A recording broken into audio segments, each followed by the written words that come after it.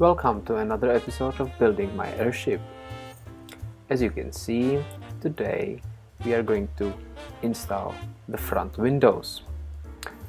And I have put my camera on wrong side of the view, so I have to move it, otherwise you wouldn't be able to see anything from the installation.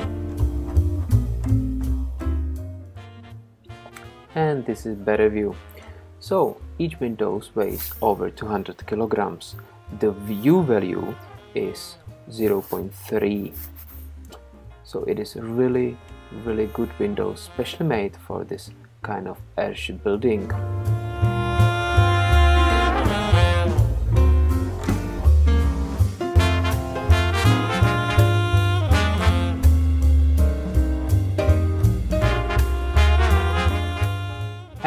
as it is usual for this spring for this year's spring it was raining again.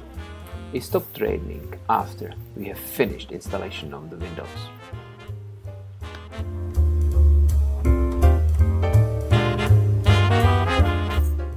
Each window is built from four glasses, so it is four layer window.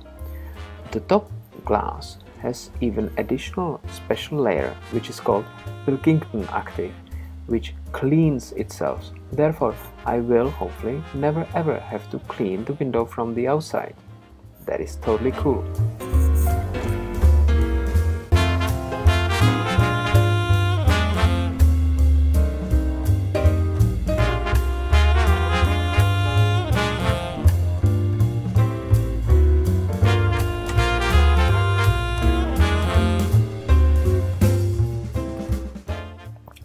And that is everything for today.